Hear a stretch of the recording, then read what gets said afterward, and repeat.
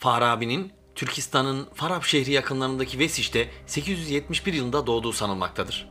Temel eğitimini doğduğu şehirde tamamlayan Farabi, daha sonra Horasan'ın önemli kültür merkezlerine gitti. Bağdat'ta Arapça ve mantık okudu.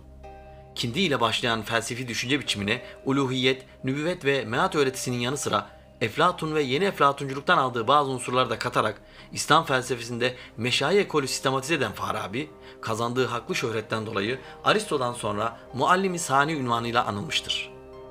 Başta ibn Sina olmak üzere kendisinden sonraki pek çok filozofu etkilemiştir. ibn Sina'nın Aristo'nun metafizik eserini 40 defa okuduğu ve anlamadığı ama Farabi'nin metafizik şerhiyle anladığı ifade edilmiştir. İlimlerin sayımı Medinetül Fazıla, Siyasetül Medeniye, Kitabul Huruf ve Kitabul Mille başlıca eserleridir.